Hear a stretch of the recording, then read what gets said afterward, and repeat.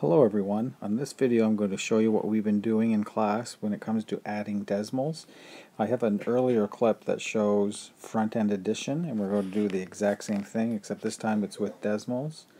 So I can make up any old number I want, put a decimal, and then add another two-digit number. It can be anything at all.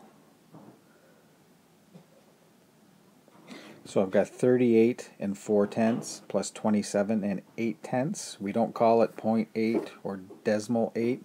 We do call it 4 tenths and 8 tenths. So we do the exact same thing we did earlier in the year. We take our 30 and we add it to our 20 to get 50.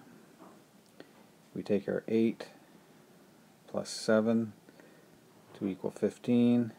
And then now I take my 4 tenths, I show it like this and our 8 tenths and then that equals 1 and 2 tenths. Some of the boys and girls say it's 12 tenths, which is true. We just make sure we have that decimal in the middle to show 1 and 2 tenths. I've lined up my numbers this way so it's a little easier to see. Told the boys and girls that this is the only line that we will have a decimal in, so when we put our number back together, that 2 tenths has to be in our answer because there's nothing else added to 2 tenths.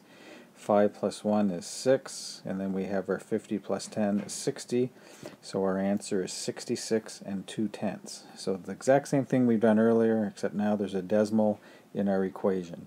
Thank you, and I hope this little video helps.